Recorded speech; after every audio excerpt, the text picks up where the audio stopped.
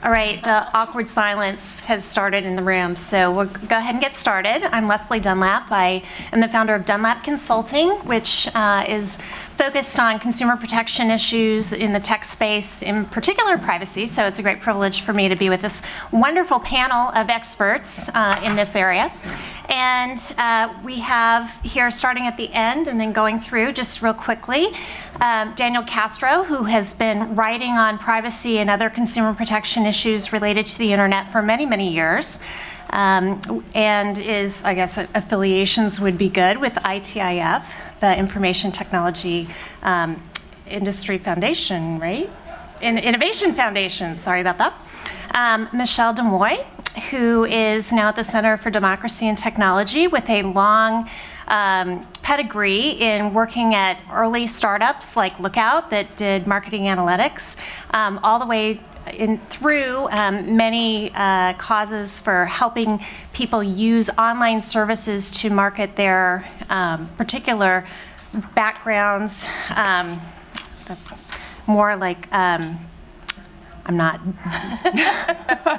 uh, also on the board of Future Privacy Forum, and uh, a lot of nonprofits. Yeah, I was gonna I was gonna try to list them all, and that doesn't make a lot of sense. The cam- campaign for tobacco-free kids, the Wilderness Society. So she has, uh, even though she was doing the online marketing piece of it, a strong pedigree in the um, advocacy community, and then most recently was with Consumer Action, uh, fighting for consumers on privacy issues, and now is extending that with the Center for Democracy and Technology. Uh, Anne Toth who is at Slack Technologies. She's the vice president for uh, policy and compliance strategy. She has uh, she ran privacy for Google Plus. She had many years uh, at Yahoo as a chief trust officer and uh, ran online safety and advertising policy as well, and has uh, also founded her own company at one point called Privacy Works and worked with many uh, various different startups on privacy compliance issues. So she's our girl from Silicon Valley. Um, Lee Rainie has a long and august career at uh, the Pew Trust. Um, and uh, he will be giving us a, a, little bit of information on new uh, new findings that they've come out with.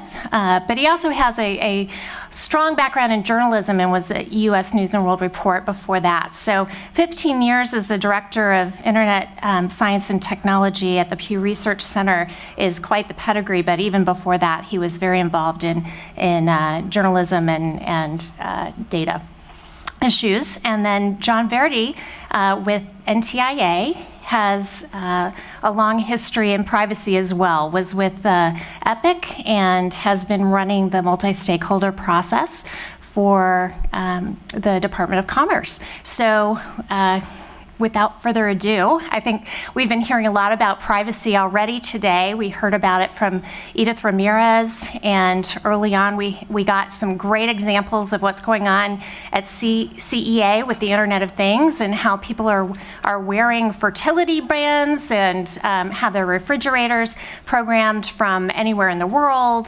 And the Internet of Things is definitely one of the topics we're going to cover. We also um, know that consumer attitudes have been changing over time, uh, especially because of all the data breaches we've seen. So, data breach is an issue, but we're really going to focus um, in large part on commercial privacy, which may be a little bit different from traditional personally identifiable information. So um, we've got, I want to start really with Lee and give him the opportunity to, to give us some information about consumer attitudes and the new uh, findings they have. Thanks, Leslie. It's an honor to be here, and um, it, it's especially an honor to try to explain the compli- complicated, messy, imprecise way Americans think and talk about privacy when they talk to us in our surveys and, and focus groups.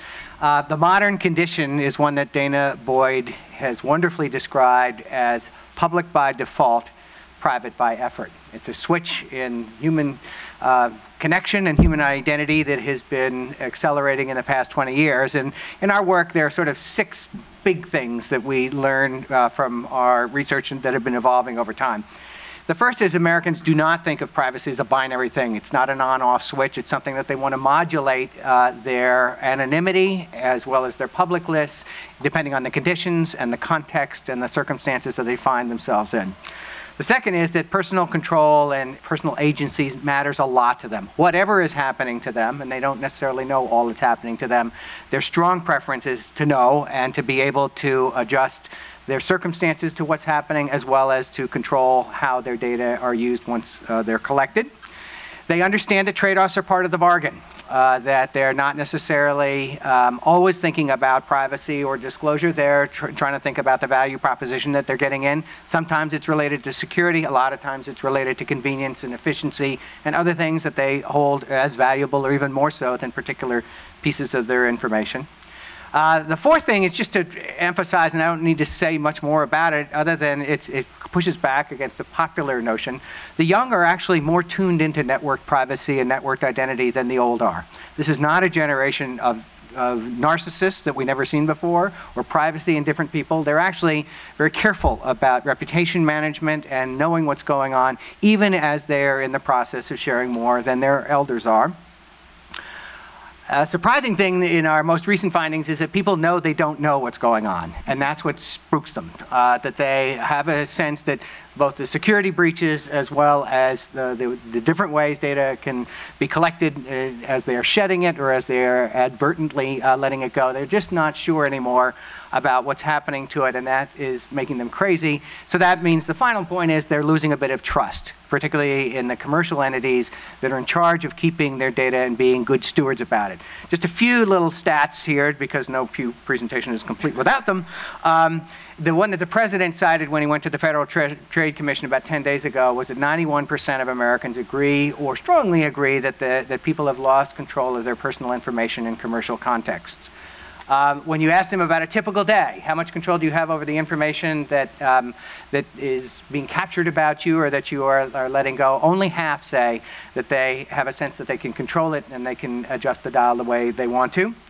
86% um, of internet users have tried to be anonymous online, but 51% say it's impossible to be anonymous online. This is an element of how they um, are losing control of things. The new stuff that we have, that we haven't even actually put out in a report yet, but um, we're beginning to talk about it because it's so powerful, is that many uh, people are talking about their lack of faith in institutions to protect the data that they are giving up. So at the bottom of the list, three quarters of folks say that they have no faith that online advertisers will be able to keep custody of the data in a safe way. 46% uh, say that uh, credit card companies, uh, even those that are terribly, terribly vigilant and have very sophisticated systems, are in control of it. And there are a whole host of other companies that we asked about in between that there, there is this systemic loss of confidence that institutions are doing a good job of being data stewards. And the final one I'll just put out because it's so central to the conversations at the, uh, at the um, State of the Net conference is that most people now think that they need more laws to protect uh, what's going on because this current situation, they feel themselves deficient in it. They don't necessarily know all they want to do. They want to do more. They don't really have, feel like they have the tools to do it. But three quarters say that there should be better and tighter laws uh, governing this arena because they, it just feels, again, out of control to them. So, Lee, what do you think that means for the government and for companies who are trying to build that trust? Does it mean that we absolutely need more laws? Do, is there any specification on what kinds of laws? Um, do we need incremental improvements? What's your view yeah, on that? Um, this is sort of a generalized feeling rather than a specific one. We haven't yet tested specific uh, solutions yet. It's actually going to be in our next survey on these things. But I'm pretty confident that if you just framed uh, a simple question as do you, would you think the right to privacy or the right to forget would be uh, something that you'd like in this country, the vast majority of Americans would probably say so in that context. Um, free kind of uh, situation. Uh, if you ask them about some of the, the downside of that, they might pull back on their ideas, but there are a whole host of ways that they probably think that, that laws can be better. Just having clearer rules of the road, particularly not so much with the capture of data in the first place, but how it's kept and, and aggregated in databases would be something they'd probably be really interested in. And it probably is, you know, if you frame it as incremental or radical, they, they'd say something pretty dramatically better uh, would, be, would make them happier. Okay. So Daniel, um, do you agree with that? You've done a lot of writing over time about the Internet of Things, about um, how different privacy frameworks affect innovation. What do you think will happen to innovation if we are moving in a direction of more legislation? Yeah, that's a great question, and you know it's, it's really interesting to hear all the, the points from uh, Pew about consumer attitudes. Um, it's something that you know follow a lot um, over time, and consumer attitudes are a very I think useful um, data point, but it's important to remember they don't tell the entire story. I re always reminded of the Steve Jobs quote here about um, you know a lot of times people don't know what they want um, until after you show it to them. And he was talking about you know the iPod and uh, the iPad and all these different innovations he came up with. And I think policymakers need to keep that in mind as well. Um, they might not be as visionary as Steve Jobs, and maybe it's too much to ask them to be, uh, but I think it's something to aspire to. And I, this is really important, I think, when it comes to um, new technologies, because whenever we see new technologies introduced, we always see um, you know, different kinds of alarms being raised about privacy concerns, security concerns, or other types of issues. And um, actually, our, our think tanks were coming up with um, uh, a media study that we did, actually looking at some of the different um, analysis reporting over privacy issues and other tech concerns over time. And one really interesting thing that I think we've just noticed as a trend is that there's this kind of uh, vicious cycle with the media. Um, and I think this kind of is a, a reinforcing um, issue for consumers. So, you know, there's a, a new technology that comes out and, and, someone says, well, what about the privacy concerns? Um, and then reporters go and write about that issue and people read about it. And then uh, Pew goes and polls them and then, you know, all these people have read these articles, so they have these concerns. And then, uh, you know, the reporters say, the editors say, well, you know, people are concerned about this issue, we better write more about it. Uh, and so it's this kind of vicious cycle where people hear more about the issue and they become more concerned. And of course, you know, the end result of this isn't that uh, necessarily we have to come up with a law. In many cases, you know, time simply passes and people come to realize that the concerns they had were never realized, and, and they move on to another issue, or the technology develops, um, or they find that there's a trade-off involved, and, and, they're okay with that trade-off, and that's what we see in, in many cases. Um, when you know, uh, I was looking at this panel and the description of it. Uh, the description of this panel was kind of billed as, you know, kind of uh, the future is now. Um, and so, you know, we can kind of look back. I was, I was thinking back of some of the um, different technologies that we've seen, even discussed at, say, the net, you know, over the past 10 years. And if you go back to around 2004, 2005, RFID was the number one issue, right? Everyone was talking about RFID and RFID privacy. Um, and if you weren't around then, you might think, I'm crazy, and that, that, didn't actually happen, but it did happen. You know, people were talking about RFID, RFID being the mark of the beast, that you know, maybe this was this kind of biblical end of times um, for privacy. And you know, if you go now and you look at what's going on, you know, there wasn't really any uh, legislation introduced in the past few years about RFID. It hasn't really been a big issue in Congress, and most people move on from this. Um, I don't even know when the last time Pew asked in the survey about RFID because it just isn't a, a big issue anymore. And so I think when we approach legislation like this for new technologies, when we're talking about the Internet of Things, when we're talking about data analytics, we have to take these consumer perceptions with the same kind of grain of salt. We have to remember that the context matters, that time matters, that over time a lot of these issues uh, dissipate. And you know, when they don't, that's when there's time for legislation, when there's an issue that remains. You know, if we were still talking about RFID 10 years later and the technology hadn't changed, the concerns hadn't changed, and now we could point to specific harms, yeah, that's when we should step in and do something. So what is the best approach in the meantime? Just to wait or to? Yeah, no, I think the best approach in the meantime is to do two things. One, to you know really spend a lot of time trying to identify where there are harms. I mean, you don't want to find out that there's been a harm that's been going on for 10 years, so you want to really focus on that. And two, you want to look at issues where um, you know there are uh, existing laws and legislation that maybe need to be strengthened.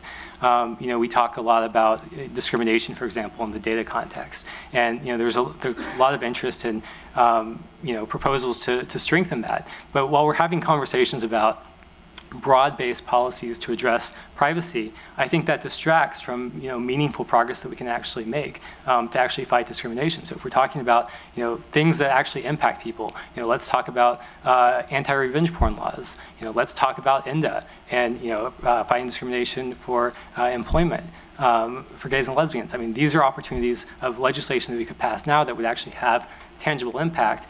And I think that's, you know, pushed off the agenda because people want to talk about these broader privacy issues where there's really not as a compelling reason to act. Well, Michelle, I'm going to turn to you as an advocate um, for consumers, but someone who also understands innovation and is trying to find the right balance. Um, when is the right time to, well, I, I guess I would say I, I, hear from CDT often talking about what I might dub careful innovation, mm-hmm. um, where privacy by design and a number of process issues are, are included in the privacy equation for industry, but still focused on, on innovation. So, when is the right time to legislate? to have self-regulation or for technology to come in? Uh, we've heard a couple perspectives. Sure. What's yours? Okay, um, well, first I'd like to address just a few things that Daniel said, um, because um, while I understand your perspective, I feel like if you said to the millions of Americans that have suffered data breach and, and identity theft because of that, where's the harm? I think you might have a different answer. And I think for me, the, the vicious cycle begins at these data breaches, you know, that have just become ubiquitous every single day. And, you know, I think the media hasn't even reported on all of them, to be quite honest. So, you know, there is tangible harm even beyond identity theft. And part of the reason privacy is such a difficult thing to advocate for is trying to make that message palatable to people, um, to kind of connect it to their real lives. For example, when I say to people, you know, a mobile device is a small tracking device you know, it sort of changes your view of this personal snuggly, you know, that you have next to you at night and that you, you know, take with you everywhere on field trips. But it, it's it's definitely, um, I think, not without harm because privacy is a principle. It is a basic human necessity and a basic human right. And I think that isn't always easy to explain when you use you know bullet points like what's the harm or you try to quantify something like a human right um, we at CDT have been able to do that very well by breaking down issues, um, you know, kind of based on technologies, based on um, different um, sectors like surveillance, like free expression, and consumer privacy. Um, you know, the government's role, we think, in this debate is to be a good steward, basically, to you know protect individual principles around privacy by using something called the Fair Information Practice Principles, or the FIPPs. Um, you know, it's kind of been around for a long time. it's a time-tested um, set of principles that include things like transparency, accountability. I'm sure you guys have heard it a million times today. But the reason we go back to it is because it works. Um, it, it's really flexible and nimble, and it, it's amazing how so many different technologies that come and go still are responsive to things like the FIPPs. Um, you know, so we think one thing that has been missing in the government um, sort of dialogue about this is leadership. You know, I was really glad to hear the president talk about consumer privacy legislation, and I look forward to reading that. But, you know, in the past, there's really been sort of a lack of anybody in the government to stand up in the, in the Congress in particular, um, there have been a few key leaders, but really no cohesive voice. And that astounds me as a consumer advocate because it really is bipartisan in the fact that your data can be taken, your data can be taken. How much are you willing to share? You know, I think one thing about Lee's point that I found interesting was the idea that people are confused. And I think that's very true, partly because we're so used to curating our data, right? So it's not like everything on Facebook is some kind of realistic image, let's say, of your life. You put the good pictures up. I know I do. You know, I put the cute pictures of my kids, not when they're screaming. So, you know, we're curating a gallery of what we want our lives to look like. But the key ingredient to that curation is choice and control. So when people find out via media all of a sudden that guess what? A lot of data is going places that you're not controlling. It's very confusing to know you know exactly what the environment it is and so much of that is so opaque. So the government can step in, in, in on several of those points and make that change and i think that's important. Um, the only thing i would add to the to the government's role um, and to the president's um, rollout in particular is that it didn't address government surveillance and I think from CDT's perspective, from many people's perspective, that um, without that uh, reform, any kind of privacy reform is woefully inadequate. Do you want to speak just a little bit to when technology or self-regulation makes sense as well? Sure, I'm sure Dan Daniel and I will have lots to say about that. Um, you know, so I think for the most part, we feel like anything that is technology specific or restrictive is a bad idea pretty much everybody, I think, would agree with that point. Um, the rules have to be in place, and that's why we kind of look to something like the FIPPs and something that can be applied to these different scenarios, right, over time. Um, I think the key FIPP for me is uh, to bring out in terms of self-regulation is accountability. So, you know, without that kind of accountability, in other words, where companies aren't kind of, you know, trying to figure out, first of all, putting the onus on companies to figure out these complex data regimes seems unfair to me. You know, a lot of them have kind of struggled with that, and that doesn't even seem to be a fair ask, and that's part of why I think the government needs to step in. But self-regulation, um, it has so many mixed motivations that companies just aren't compelled to police themselves. And, and it makes sense, right? Good actors get punished for being transparent about their data practices. Um, and ultimately, I don't think consumers win. When there's baseline privacy legislation that addresses security and privacy violations and has that built-in accountability, say from the FTC, an agency that has built the expertise to be able to do it well, um, I think that's a far better outcome for consumers. I, uh, I want to turn it over to Anne to maybe comment on that point, but also Anne is an operational um, whiz, so she's got to figure out how to make all of these policies work in the wild.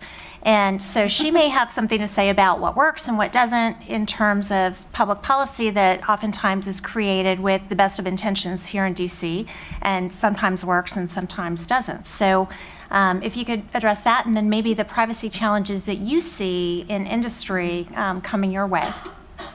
So California is definitely, uh, well, Silicon Valley, I don't know if I'd call it the wild exactly, but uh, it's not Washington, that's for sure. Um, so I want to start out by saying I don't have um, a playbook or any specific answers, so my answers are probably going to be it depends, and I'm not sure. These are really hard questions, really difficult to answer. I've been doing it for over 15 years, and I think we've been having essentially the same conversation for most of that time, um, which is great as an employment strategy for privacy people, um, but for the most part, it feels like it's a little bit Groundhog's Day over and over and over again. So I wanted to comment, not to embarrass our hosts today, but the title of our presentation here is Can We a Framework to Safeguard Americans' Commercial Privacy? And I want to say, yes, we can. I don't know, uh, but it feels like the right thing to say. So two things come to mind just listening to some of the panelists here and some of what we brought. I think we're going to have a lively discussion about this, absolutely. Two things is that um, we're asking a lot of consumers and we're asking a lot of, of businesses and, and particularly of entrepreneurs and small businesses. On the consumer side, I'm struck, I read a headline, I don't know, it was probably some clickbaity thing I saw on Facebook that talked about GMO labeling because a lot of my friends on Facebook are all about GMO labeling. But the thing was actually, the article said 80% of Americans surveyed would support labeling food that contains DNA. Um, you know, I think all that reveals to me is that a lot of people don't know what they need to know to make a decision, and yet we we base this whole model of notice and choice that we're going to give consumers notice and they're going to make an informed choice and that's going to make it all better but that assumes that they understand the implications of the choice they're being asked to, to make and that they understand enough about uh, the trade-offs that are inherent in that. And you know, when we look back at the what we were affectionately refer to as the summer of Snowden, the one thing I thought was very useful about that is that it did raise awareness on the parts of a lot of individuals out there who never really comprehended how much information was being collected and by whom. I thought in general it was from, from the standpoint of education, I thought it was a very useful thing. Um, but I'm not entirely sure it changed behaviors as a result very much. And I don't know that it could have or would have, but but at the end of the day, it struck me as, as interesting that, that that was one of the things that, uh, how little things actually wound up changing as a result of that. The one, um, to the point that Daniel made earlier about Steve Jobs, I, I, know we like to give Steve Jobs a lot of credit, but I'm, I think actually that you know, the, the, the, actual quote or the, the genesis of the notion of asking consumers what they want goes back to Henry Ford. Henry Ford said, if you ask consumers what they want, they would have said a faster horse, right? So you can't put that much on the consumer. They, they really can't predict the future. They really don't know yet what they need. Um, on the entrepreneurial side, I'll say uh, this morning, hearing um, uh, Chairman Ramirez talking about uh, what her advice to entrepreneurs would be and to people building these products, I wrote down a couple of notes she said they should conduct risk assessments and they should be very and they should be all about data minimization and i thought i don't know very many entrepreneurs who just got a round of funding seed financing for their new startup that are actually out there conducting risk assessments on their products. I couldn't name one that is. Um, they're thinking about building a product that will get as many users as quickly as they can. Maybe they're thinking of their exit strategy and how they're going to sell this thing for X billions of dollars in 10 months, in which case they're not thinking about data minimization. They're thinking exactly the opposite. How do I monetize the hell out of this thing? How do I make a lot of money? How do I how do I become that next 23 year old billionaire? And data minimization is probably not their path to that end. So I'm not sure that their incentives are naturally aligned with what regulators would expect of those companies. Uh, I'm not saying that that's, I'm not, I'm not making a judgment on that particularly. I'm just saying that realistically, um, people are not looking at that problem. They're looking at building the product that's going to be awesome. And consumers, even when they think about which products to use, they're often not thinking about these questions of what happens to that data and who's it going to be available to. They're thinking, wow, this is a kick ass product. I really like it. I'm going to use it. Um, the decision making model is generally much more short term than the sorts of questions and things that we think about as policymakers and as policy practitioners. Um, so there are no answers in that, just problems perhaps that will guarantee our future employment and that we will discuss this again at length next year at this conference. So I don't know I if guess it's a, helpful. it's a but- positive sign that at least one startup has someone like you thinking about these issues and trying to address them. Well, I like to think so. you know, we have a very different uh, model. I can talk a little bit about more what, about what we do at, at Slack, um, but it's it's uh, it is a very different world I'm operating in now on the on the enterprise side than on the consumer facing a little bit. So it's been an interesting transition. Well, I want to turn to John, who has had the um, perhaps unenviable um, job of trying to bring all these diverse viewpoints together without necessarily taking a position, kind of helping this organic stew um, come to a bubble and come out with some regulatory um, suggestions or voluntary guidelines through the multi stakeholder process. So I'd love for you, John, to talk a little bit about how that works, whether you see it as an alternative to um, other legislation. Obviously, the president and the administration have come out with a package of legislative proposals as well. But where does it make sense to do this, which is an innovative um, approach by the government, and when does it make sense to, to legislate? Sure, absolutely. So, so first, let me say that, that the idea of someone convening a multi-stakeholder process to develop, you know, voluntary standards around digital economy issues or internet issues or technology issues um, is not something that we at NTIA came up with. Um, th- this has, a, as folks know, this has a long history um, that is deeply embedded in both the technical infrastructure and the policy infra- infrastructure of the internet we use every day. The Internet Engineering Task Force, the W3C, any number of other multi-stakeholder, multi-stakeholder organizations have been making decisions by consensus about critical issues that have kept the internet open and transparent and secure for a very long time. Um, now, is it a perfect process? No. Is it better than most of the others? We think so. And, and one of the reasons why we think so um, is that it takes into account views of all the relevant stakeholders. You, this is not a situation where you have government bureaucrats um, sitting in either the federal government or a state government making decisions about really fast moving, um, quickly evolving, highly technical subjects. What you have are government bureaucrats um, convening the relevant folks from the technical community, the advocacy community, the industry, um, lots of other folks who have an interest in the particular topic to get together and come up with common sense solutions that work for everyone. Um, ultimately, this is different from the kind of top down prescriptive statutory or regulatory framework that works in many other areas. And, and there are times when, when that sort of top down prescriptive framework works. Um, in our view, uh, when you have a fast moving industry, when you have rapidly evolving technology and business practices, looking to this multi stakeholder model makes a ton of sense. So I was very pleased to work with a number of uh, really smart and really dedicated folks on coming up with privacy disclosures for mobile devices on really small screens um, that can provide users with better information about how apps are collecting and using data. We're currently engaging in a process um, that asks folks to create a voluntary code of conduct around commercial facial recognition technology. Um, and this is a model that NTIA has been following in, in you know, non-privacy areas as well. Um, the Department of Commerce has been working with folks um, through NTIA and, and USPTO to work on improvements in the DMCA notice and takedown system. Um, the Department of Energy recently uh, was able to publish a voluntary code of conduct concerning smart grid and privacy. So this is a technique that works, but it doesn't work 100% of the time. There, there's absolutely no question about that. Um, so what you really need is a dedicated group of stakeholders who are able to come together and solve practical problems um, where they have some common ground. And when you have that situation, you have that set up, the process works really well. When you don't have that situation, you don't have that set up, it's slightly more challenging. So um, as it relates to other administration initiatives, you know, since you know 2010, 2012, you know, a long time now, the president and the administration have said that baseline comprehensive privacy legislation is a good idea, not to replace the sectoral privacy um, statutes and regulations that exist today, but to fill the gaps between them. Um, and that that sort of baseline comprehensive legislation would build trust in the internet, would address many of the issues that, that Lee's research points to, um, would likely spur adoption of new and innovative technologies.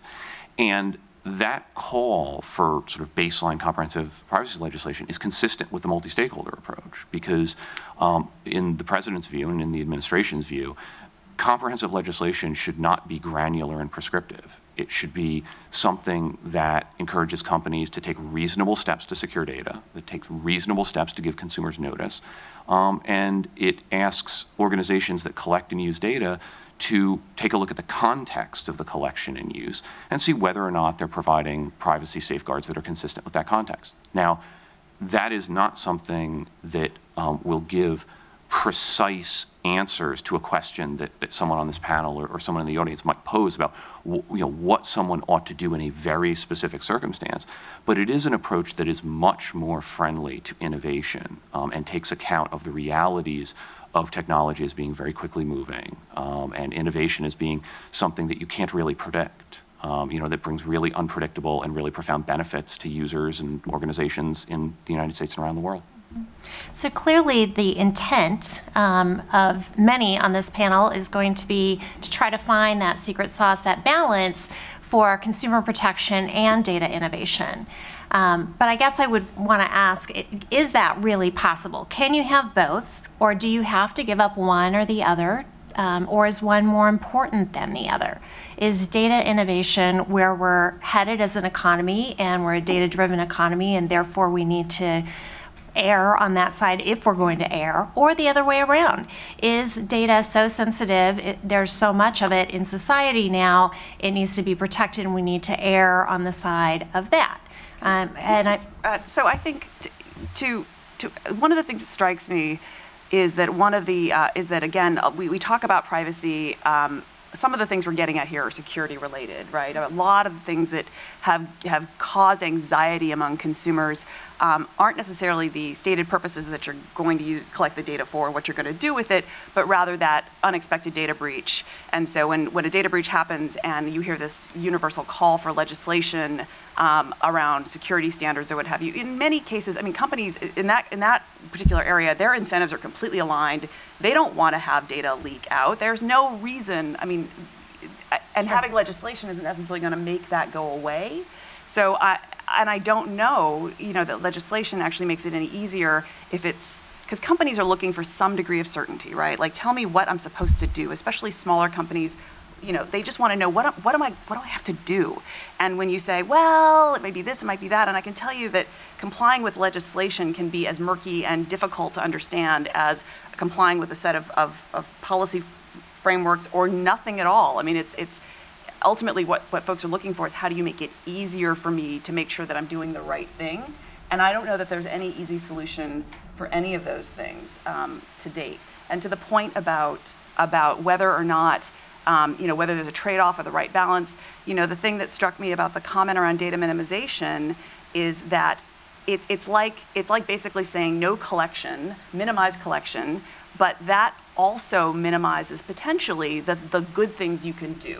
So if you have, if you if you put that stopgap right there, then it is going to be harder to innovate. Um, you know, it, it all comes back to this notion of accountability and about building in safeguards so that there are appropriate uses of data, not simply an edict that thou shalt not collect, because if thou shalt not collect, then there's all of this other stuff that we may not be able to do that may be incredibly valuable. So it's a little bit like saying, you know, I, I'm just asking not to throw the baby out with the bathwater, and I'm not sure where that inflection point is or where that right spot is. You know, I just Right. think, I think the responsible use definition would be different from a corporation standpoint than from an individual's. And I think rather than a government or a corporation, the individual should be the person to decide what's an appropriate use of their own data. You know, I think a lot of. I'm um, not sure the individual is going to necessarily be informed to the degree that they're able to make, it, it's a lot to know to be able to make that. I, I think you underestimate people a little bit. I mean, I, I do understand that things are confusing, and I, I constantly get calls from my family asking for help with their Facebook settings, which I can't do. Even I'm confused by them. But um, no, I mean, I think people want to have a choice and they want to have control. A lot of companies, I think what the data minimization principle is pointing at isn't um, you know, please, no innovating. You know, we don't want to innovate.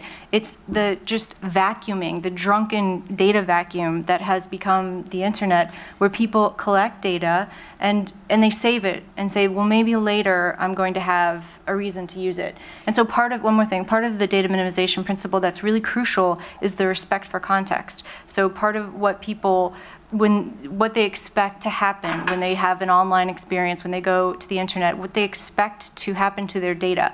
You know a great example which is constantly used but it's such a good example are the flashlight apps who you know were collecting all kinds of crazy data right? So the reason i use that is because it's sort of so clear but in fact there are all kinds of apps that are just you know sort of overusing a lot of data but people have really no understanding of that nor would they be you know really excited to see that something outside of what they had authorized or expected was being used. So to ask companies to, to look at those principles isn't isn't too much of a burden, in my opinion.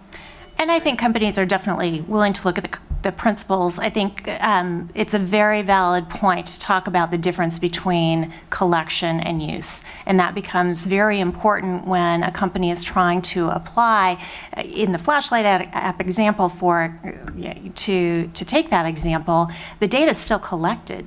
It's a question of what are the permissible uses and are there secondary uses that in some case might make sense. So that's definitely an issue as we get it to data sharing as well. But Dan, you wanted to. Yeah, I want to jump in on a couple of these points. I mean, one, you know, certainly we can talk about, you know, sure. I mean, you know, you could always envision that it'd be better to give consumers a choice to opt into different things or to think through it. And there's a cost associated with that. And we have to be cognizant of the fact that there is that cost. And we need to think about what kind of future do we want and what kind of future do we expect.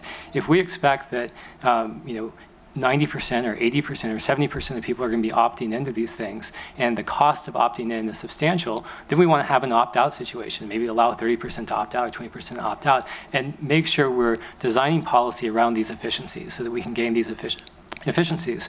Um, and you know, this, to the, this gets to the question of you know what do we expect? Is data-driven innovation important? I think it is. When we look at you know the big opportunities in areas like healthcare and areas like education, we want to see data used more and more. We not less and less. And so we want to find the best path forward to enable that.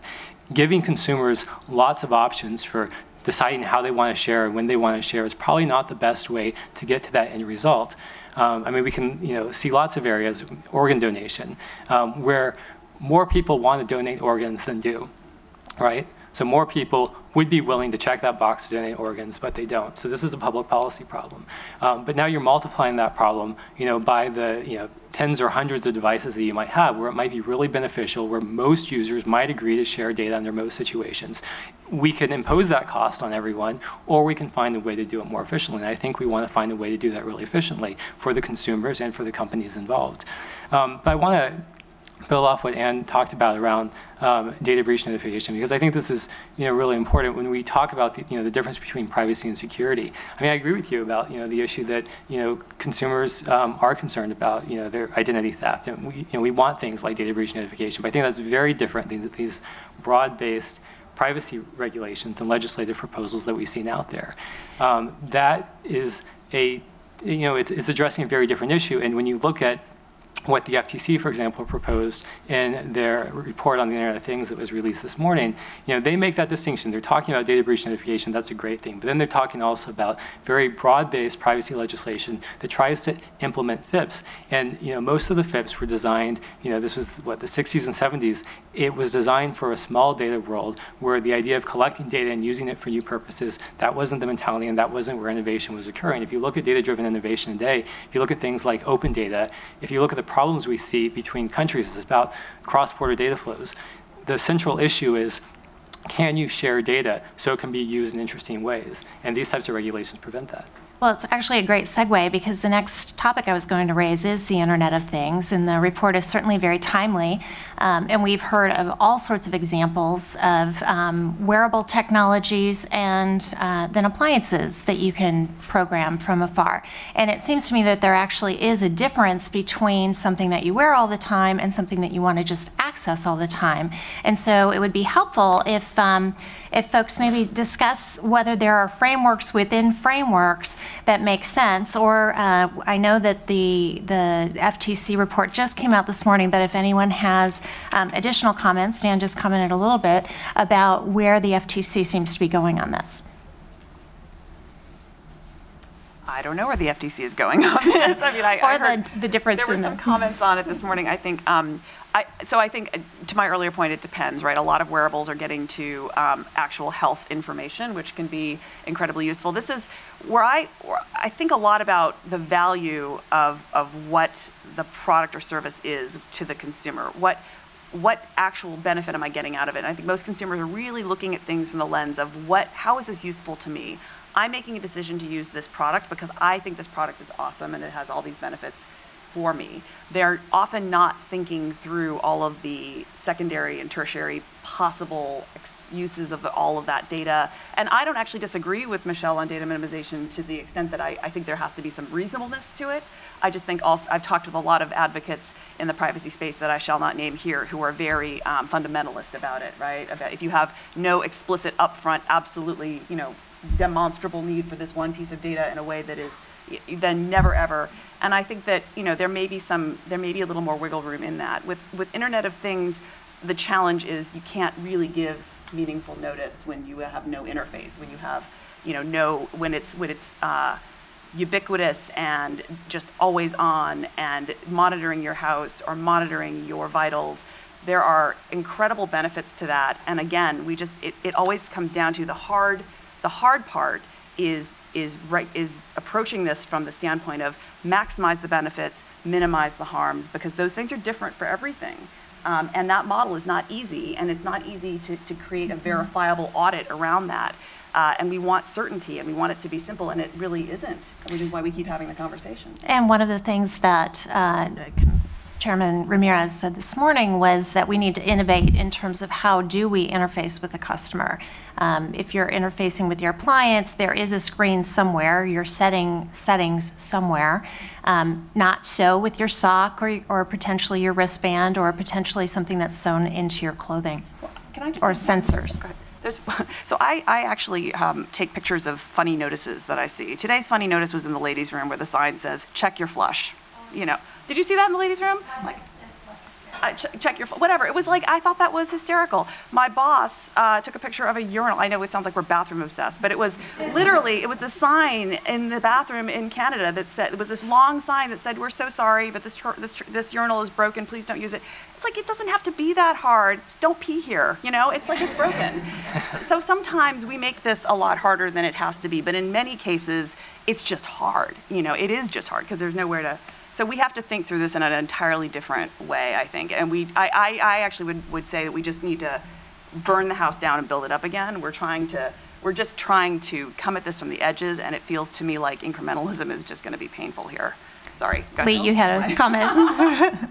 Um, Michelle is right that context matters a lot and who, who's making the decision matters a lot. And so it's really hard to make policies that have bright lines when people draw bright lines at different places. And there are two ways that we're learning this uh, with sort of newer data uh, very immediately now. We're doing focus groups that are trying to walk people through scenarios of whether they would give up information in return for, for certain kinds of benefits.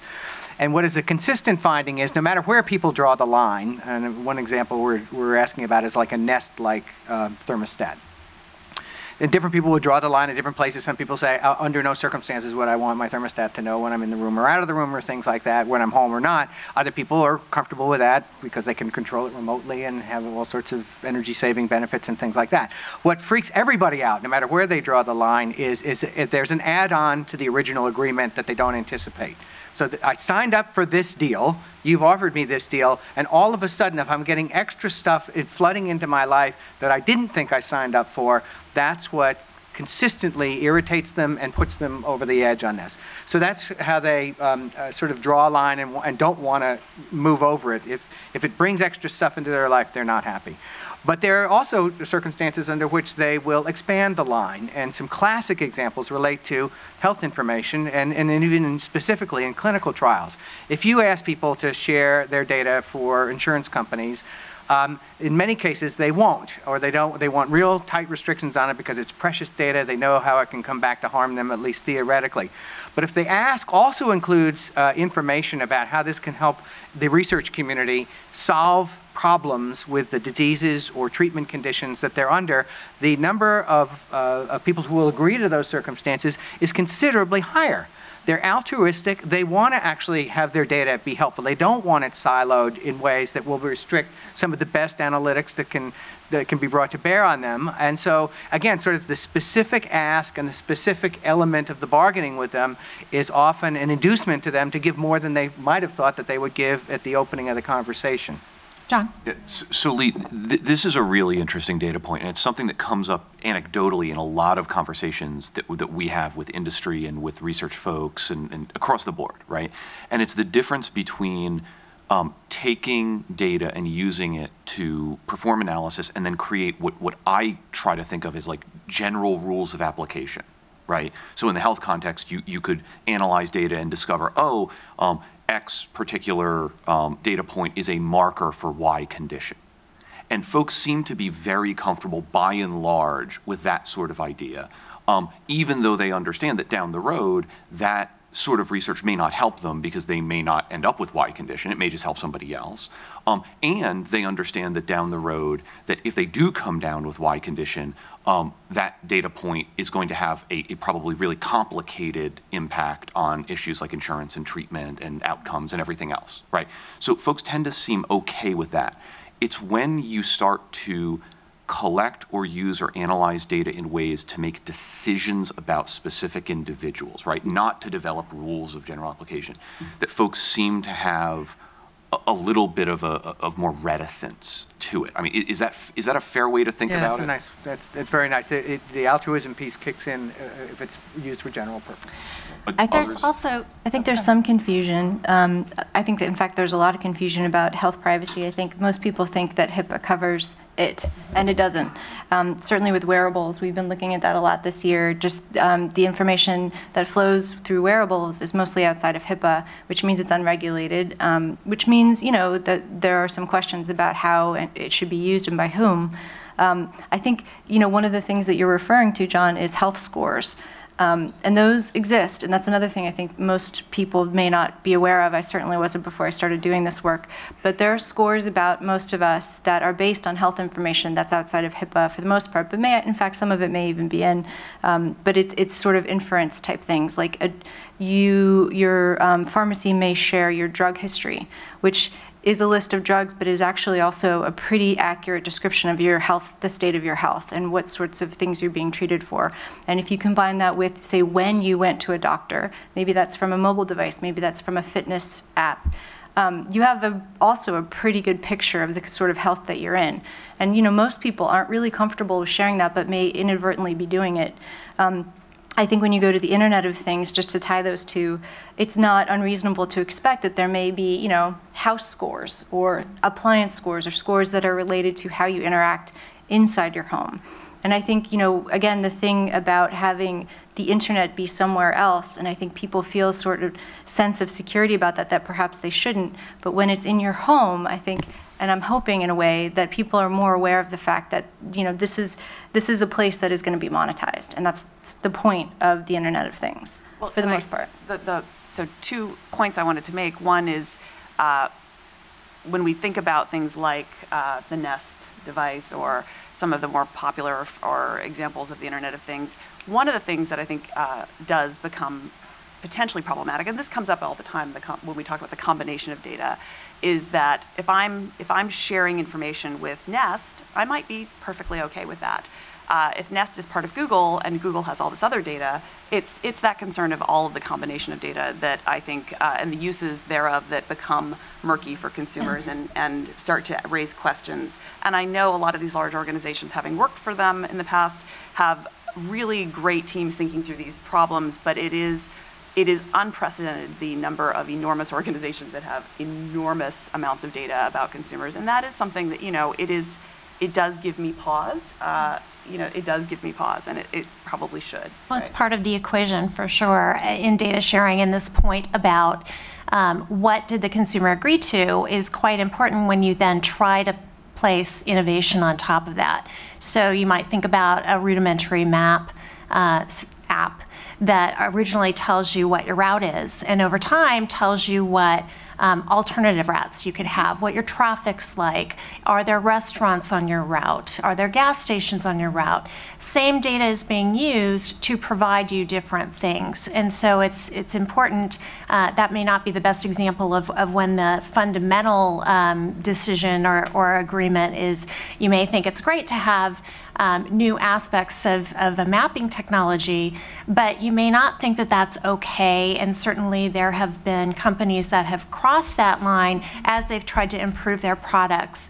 Um, and there's a lot of pressure, I think, to do that. Certainly in the wearable space, I know, you know, a great example. Um, there have been studies that shown that people get really excited about their Fitbit and their Jawbone for like a week. And then you forget it or whatever happens. It, you know so there's a large drop off and i think that that is an important um, frame to when you look at even things with the internet products and the internet of things. Not everything is going to succeed. I don't really need a smart toaster. You know i just need it to toast. And you know whatever's happening inside of it although i did see a clear toaster that which was really really cool. But i don't need it to think or anything. Um, but the, you know, the, the, so what has happened with wearables, for example, is with this drop-off rates, the companies have tried to monetize, so they've started doing more data like health, your heart rate, um, your blood pressure. So that pressure on the um, on the sort of industry, I think, makes the even stronger call for there to be government, you know, reasonable rules of the road for industries. And I'd like Lee to comment a little bit on, you know, you, you, you get these results from your wearable and you post them, mm-hmm. or a lot of people do, or they share their results. And there may be different gradations here, but what are consumer attitudes and is there a little bit of schizophrenia really on, I'm, I'm concerned about other sharing, but I'm perfectly happy to put everything out there on my own?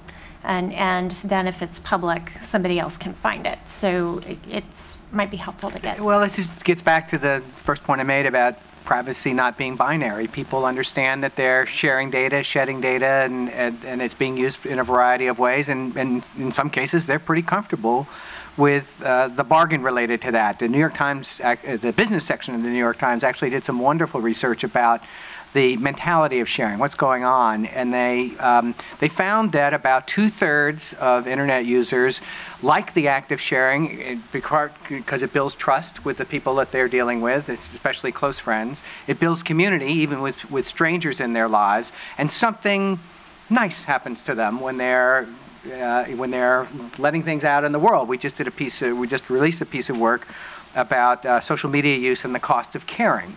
And one of the things that it built off was a lot of social science findings that the very act of sharing information, even if it's not very pleasant information, somehow relieves a little bit of the burden of life, especially for women. So there's a lot of evidence that this network life is a life that has a lot of encouragement to share information, and you get a whole bunch of good things out of it. As at the same time, those same imperatives to share are uh, pushing people to you know, maybe disclose more than they want or to be put in positions where they don't have a choice. About a fifth of the um, workers in this country, their jobs depend on them being available and visible online.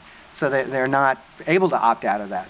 I think it's the opacity, too, of, of the data collection that makes it hard for people to really weigh that that scenario. For example, if you ask those same women who enjoyed sharing pictures of their kids, if they knew that their kids were tagged by facial recognition and stored in a database, how they would feel about that, the answer might be very different.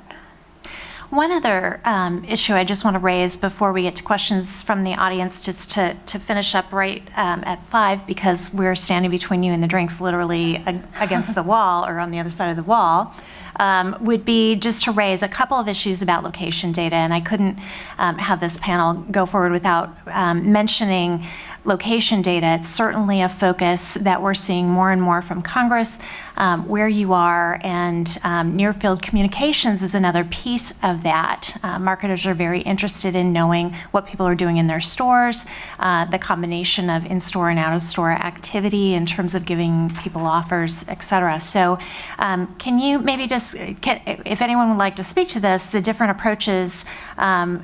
Should there be different approaches for real-time data, past data versus real-time data, or, or the combination of, of data? Um, I think, uh, well, I just want to say I love Waze.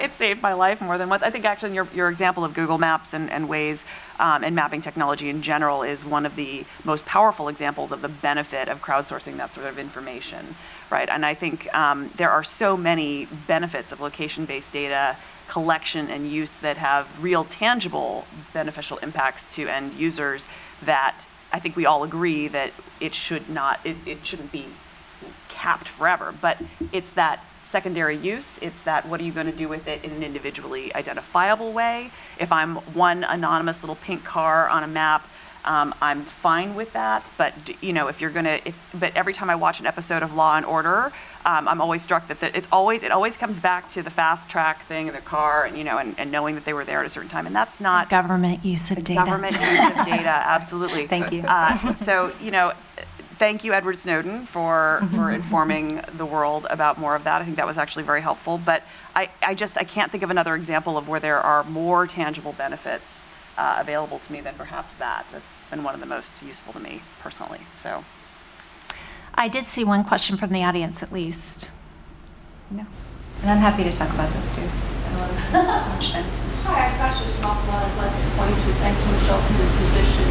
You really brought to a point that was discussed, which is, while we're here in the real world discussing this, there's an underbelly that's doing it also, and the laws that we abide by, the underbelly or the underworld does not abide by. And it was Waze that was used to track the two cops. So I'm not happy there, but data gathering actually precedes Google. I'm doing a paper trail on an entity, and we've been cached for years and years. My biggest objection is how my brand, et cetera, has been dissipated. And every time I go online, I find new entities that have multiple different variations of me, and I look at that as a state-by-state violation of rights of publicity and rights of privacy. So while we're looking at the world on a global or the countries and national level, we need to start fighting back, I think, on a state-by-state level. So one, I don't know if there's a question in there. When you talk about the underbelly, are you talking about the mafia or the government? I'm Um, the serious. nefarious. I'm- nefarious. I, I, I'm not, I'm, I'm Well, one I'm- that I'm actually. Seriously, I want, I'm not. No, no, no, I, I, I, I- you are. Um, I, I'm still pulling back on data on that, where I've gone to elements that are nefarious, not necessarily the mob. People that are curious start to look into something and see the positive, not the negative, and hence we've now got the battle with ICANN going on. There's different arguments. Some see it's great because they're going to benefit, and others see that it's horrible because how it's allowed other um, dominoes to, to fall into place. So um, just there was points being made. Um, you and Michelle did raise points of this is something to slow down about. But how do we pull back? Can we ever pull back from where we are now? Because it's not a very good position we're in. You know, I think um, that's a very good point, and I think honestly, I have lots of friends on you know all sides of this issue, but I'll, many times I'll hear industry folks saying, uh, putting putting this frame on the on the on data you know topics as though it's this runaway train that you know like the NTIA can't catch it, no one can catch it. We gotta you know run after the, all these crazy issues. When in fact I don't think that's the case. I think you know you're right. Data collection is nothing new, and in fact we have a lot of laws, federal laws, also state laws, that address certain issues that really come up when you when you talk about ubiquitous data collection. For example, discriminatory practices. You know, I think near field communication to me, you know, you can't disconnect it from mobile, which you can't disconnect from location, which you can't disconnect from things like data points like zip code. Um, you know, which do matter and do make decisions about you, um, whether or not it's marketing or whether it's getting, you know, offered a predatory loan or a different kind of loan rate. Um, you know, these aren't just wild-eyed examples. These are actual things that are happening now that can be fixed by having laws address, you know, there's a whole patchwork of laws that address um, certain mobile payment kind of marketing like Gramm-Leach-Bliley, but they don't really cover this area. They don't really cover near field communications and some of those relationships that you have with a vendor are so complex that you know even gauging what a consumer's expectation might be is very difficult. Um, you know, but for example, here's a great example that I think about a lot. You have somebody from a poor neighborhood who goes to a CVS. CVS uses digital signage. They use retail analytics to ping your phone and see where you've gone around the store. Um, they look at that and see which promotions you've stayed at for a long time. They can marry this information with your rewards card, with your drug history, right? So you see how these things, when they start to come together, become problematic. But if there are stops in place, and there are for health, right, and it works for the most part, if there are stops there for financial information, certain types of marketing to you, and when you're not when you don't have a relationship with a vendor, there are stops there for, the, for what can be sent to you and how your data can be used. That can also happen here. It just it needs um, industry and advocates and all the stakeholders to really work together to pass laws. I I love the idea of that, but as a practical matter, and to the point, the question of, you know, can we slow this down? Is there, eh, can we pull this back? Technology and the pace of innovation is accelerating. It's not receding. It's not slowing. Um, it is already well ahead of the law. We can try to fill gaps, but realistically, we're never going to get ahead of it. Um, and you know, there is that concern about innovation stifling, which I know we go back and forth on, but I think it's unrealistic to think that we're going to be able to address each and every one of these things on a case by case basis. We have to have a flexible approach because technology is well ahead of all of us right now. To what extent is technology part of the solution? It has to be part of the solution. I think the innovation that we're talking about is in that area as well. Mm -hmm. yeah. Yes. Oh, I was going to talk about, well, green consumerism is there something akin to that in privacy? So, um, you know, having the right to be forgotten after you're, you know, okay, I've used this for five years, it's been useful for me, now I want to wipe out all my data. Um, so yes, we like to have control over our data for, for sure. Or competition um, within the competition, different companies. Yeah. Mm -hmm. Yes, it exists. but um, at, to Lee's point, sometimes it can be hard to find um, the ability to keep your identity to yourself is very it can be difficult. Um, but there are all sorts of programs to allow you to do it. Yes adam. I am adam Thierer with the mercatus center at george mason university.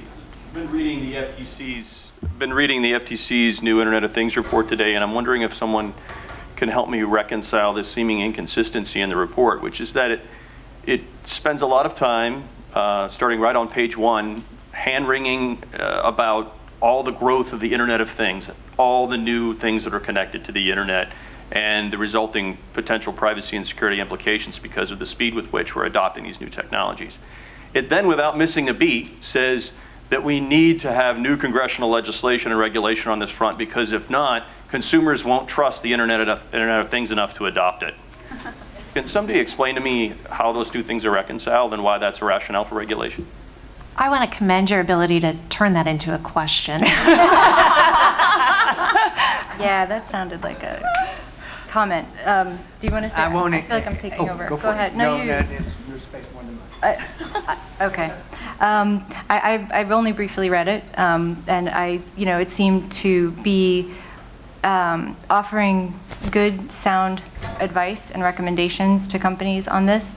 The speed of innovation and the fact that consumers may or may not adopt it, I think, is the only thing I can say there. Um, you know, just because a company makes it doesn't mean they will come, right? It doesn't mean that I want that smart toaster. That's probably in development somewhere. So I think that's part of it. I think um, somebody needs to show me where, where this speed ticker is because, you know, I realize that there's a lot of innovation, but there's always a lot of innovation. Privacy is an innovation. You know, there's a lot of innovation to be done in the privacy space. Um, I think people forget that the internet, you know, there was a time and this ages me, ages is me, but there was a time when nobody would go online to buy things because it wasn't secure, and it was it was almost ridiculous to think of doing that. So, I mean, I think where the innovation speed needs to be maybe shifted a little bit is in how do we create a scenario where people can feel like they have control and actually do. So, one example, I wish that the FTC had maybe included the idea that there could be a data aggregator that's involved in the Internet of Things, where somebody could, you know, sort of piece their data from different places, from different things, and um, have one area where they can make choices about how it's shared and with whom, and that they have a, a way to control that. I think that would have been maybe a, a better way to pose the, the problematic idea of all these different technologies developing so quickly. And there are certain companies that are trying to do that, um, to the earlier questioner's point of, of curating your own brand online and your own data. Um, oh, Lee, did you want to? Okay. Um, last question. Uh, that's just a great idea. How many times have I filled out my health information and every single doctor is all the same information? Um, so in so many ways, an aggregator uh, is a big boon. Um, efficiency, um, accuracy of my data, um, and you know, having control first. You know, um, it might be surprising what one person's uh, decision of sharing versus not sharing. I mean, that's unique to the. I think particularly in health, you know, and we made this point of somebody about, you know, research and the different reasons why people share in health and community online um, yeah, I think it, it's a very different scenario. And, yeah, go Yeah, ahead. just final thought. I mean, I, I think in most of these cases, I mean, consumers are in favor of these technologies and data sharing or any of these things when, when they're made better off. And, and they're only saying that they don't want to share when they think something bad will happen to them. And that's why it's important, I think, to have these targeted focused rules that say, you know, this type of bad thing won't happen to you. So, you know, you uh, can't not get a job because you're pregnant. It doesn't matter if you show up to the job and someone thinks you're pregnant or predictive analytics say you're pregnant or there's a data breach and that information gets out. The point is this type of action is not allowed. And I think that, you know, consumers want to have trust in what people can do and feel that, you know, things are getting better for them. I just, And that- I wanted to make one last point, which is that I don't, we talk about the internet as if it's this monolithic thing, and we ask consumers about the internet and about the internet of things and about their trust in this monolithic thing. I don't have trust in any monolithic thing, but I have trust in a lot of very specific brands, and as a consumer, I make decisions on a case-by-case basis. And so I think it's a little bit, to me, it feels very incongruous to ask about this big thing um, when people are actually, I think, making decisions on a daily basis on little things, little, like, is this giving me value? Am I getting something out of it? And, and that was kind of the last point that, that I was going to end the panel on. It really is, come, it comes back to the value, to the consumer. Are you giving them convenience? Are you giving them value? Are you making their life easier? And those are the types of technologies that tend to succeed.